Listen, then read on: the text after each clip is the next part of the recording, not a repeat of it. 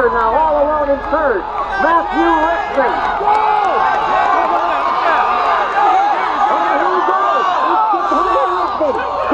Richmond, Richmond, Richmond with the championship. Maple Park Chamberlain, followed by Jeff. For Muhammad right now, 1278, 1274, 1281, 1261. Go, in third. That was. Ohm was in the top five. 1362. Right now, across was 14 of Sycamore. Muhammad has three in the top group. Along with, here comes Fifth Oakley. Oakley looks like he might be all state at 1509 for Go, Justin! as the rest of the group pours through. There is Muhammad and Austin Ames for Charleston as well. Let's go, man. 21, we see two Charleston runners, and now more of the front group coming home. There's another Chatham Glenwood, another Mascoutah. Belvidere North, there's Danville, Springfield High, followed by Normal University. Danville, Mascoutah, Springfield, Kaneland, Richmond with the unofficial win with Gebhardt. That looks like Mount Zion in next. Danville follows. 1200 is home. That's Crystal Lake Central Sprint.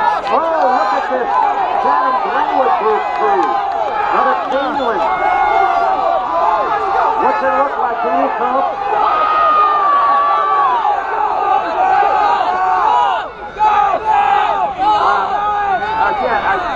you catch the finishing time in that photo finish between Richmond and uh, Right at 1420 for Richmond.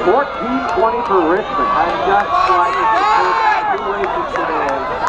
Uh, the winner of that race did not move into the lead at all until three, 400 meters to go. It's just like we saw uh, McNabala still hold on in that trio that won in the 1A race. This one here mimicked it in a great finish between these um, great runners, Gebhardt and Matt Richmond. Go Simon!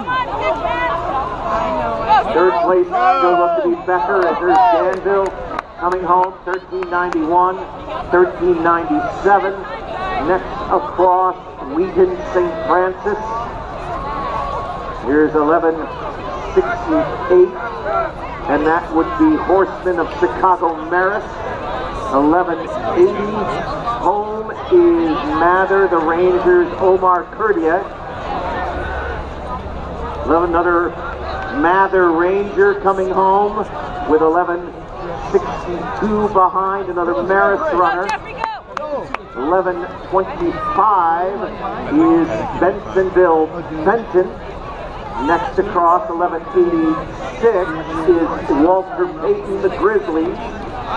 1298 next home follows